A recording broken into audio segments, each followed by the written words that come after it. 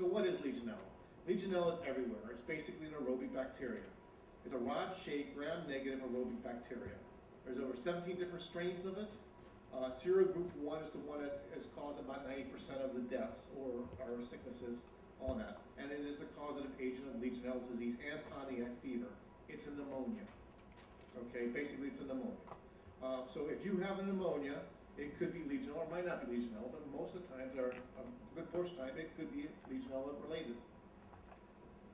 It most commonly affects those who are, who are elderly, smoke, and or have respiratory problems, people who have weak immune systems from disease like cancer, diabetes, kidney failures, uh, heart transplant centers, uh, where people's immune systems are down. So that, that makes kind of sense. If, if your immune systems are down, you, you're likely going to contract um, a sickness anyway. Um, unfortunately, Legionella becomes the, the final sickness uh, because of the way it reacts. Um, it's one of the three most frequent causes of pneumonia. They can now test Legionella in the bloodstream. So sometimes hospitals now, people are coming in sick, they will actually test you to see if you have Legionella to see if it's hospital acquired or communicable uh, acquired. So there are people that come to hospitals that already have Legionella through the pneumonia. Okay, Legionella infects and lives within protozoa and can thrive in biofilms. We talked about the sessile bacteria and how they grow the biofilms. That's exactly where they live. So we know that we control the sessile bacteria, the anaerobic slime-forming bacteria, to a good rate. The chances of Legionella are slim to none. That's why we have those metrics lined up. Okay, just to give you some electronic shots of, uh, of Legionella. Legionella is actually this rod shaped right there, and they're actually in the environment. They don't do very well in the environment by themselves, but a lot of the amoebas and protozoas actually think they're food sources, so they go out and they grab them and think it's a food source. Once they get in the cell, okay, they start replicating. And eventually they just take over the host cell. The host cell explodes and releases it back into the environment. And so that's how they get in the environment. The way it gets into, I don't know if I have a slide, I don't have a slide. The way they get into the human host is they do it by water vapors. Okay, so they're actually part of the water vapor. You inhale the water vapor in some way, shape, or form that is a respiratory disease, and that's how it affects us. So for all those people that work around cooling towers, you're probably more susceptible to get Legionella, okay, because of that. So that's why we want to control the cooling towers and where they are and how they're controlling the biologicals. As you said, the steam plume come out the top, where's all that water vapor going? It's going out into the community. So where does it thrive? Legionella basically thrives between 68 and 115 degrees. What's the temperature inside cooling towers? Okay, perfect. Um, we also have some people have get contract Legionella from the drinking water in hospitals. So that's why they do a lot of superheating or they have hot water systems. Because as you see, if you get above 140, 150 degrees, it really doesn't exist. We understand Legionella. There's plenty of documentation. Uh, there's Cooling Tower Institute guides, OSHA, ASHRAE, State of Maryland, Wisconsin protocol. We understand all this. The problem is, how are we going to manage the facility to make sure we minimize our risk to Legionella?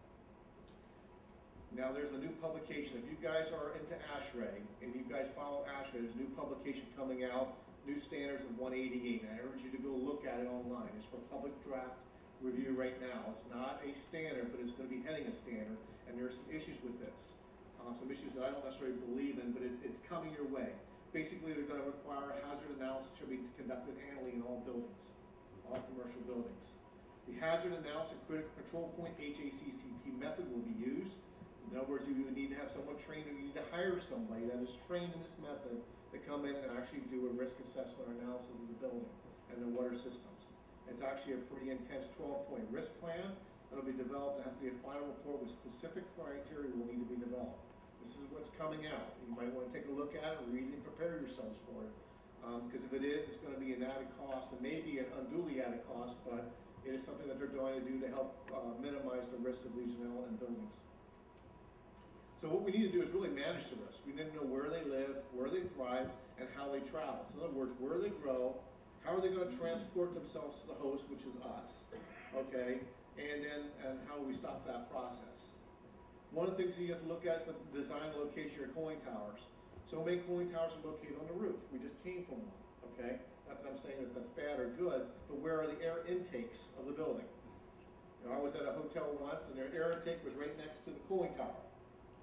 Okay, that's not good because you have a lot of vapor in that area that sucks it right into the building and that goes right into the guest room. So you certainly need to make sure you understand where the air intakes are and relative to the discharge of the cooling towers.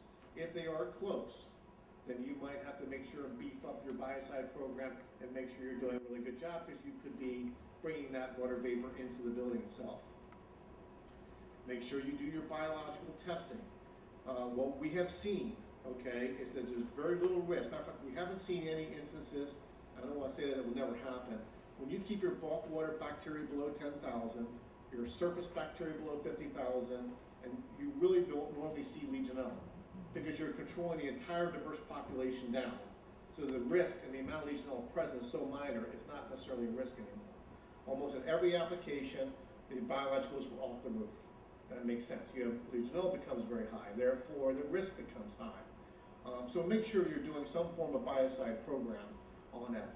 Um, the, the program you saw today up on the roof does not feed biocides. I'm not saying that's bad or good, okay, but it's not a, it's not a conventional program, and therefore I'm not sure there's a lot of really publications by CTI, OSHA's, and all that stuff on it, so you need to make sure that your risk is minimized because of that.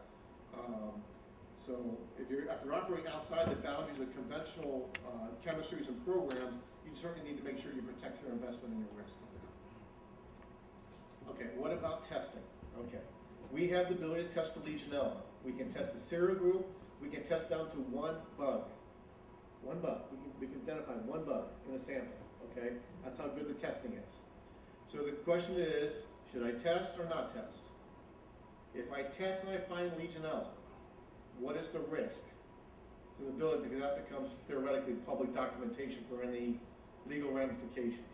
Some people choose to say, look, I wanna test it, I wanna find it, and I wanna kill it. Okay? Other people say, if you search hard enough, you will find it. It's everywhere in the environment, right? So if you search hard enough, you'll find it.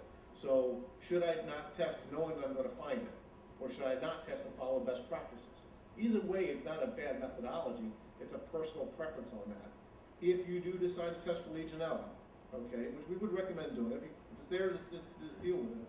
You've gotta make sure you have a plan in place so when you find it, so when you find it, there are certain protocols you need to find to, basically eradicate it, retest and validate that you've done something, and make sure you document all that. I hate to say that, the legal system kind of takes over a little bit in this process, because if someone were to get sick, eh, you know, in the building, uh, or in a hospital or a university or whatever it might be, and it's found out that you had Legionella and you weren't following best practice, you kind of open yourself up to a risk on that. So if you do decide to do testing, please make sure you have a risk plan in place to make sure you do something if you find it, because you probably will find it. If you don't do it, my recommendation is follow protocol. Make sure you follow the uh, best practices for biological control and document on that. Any questions about Legionella?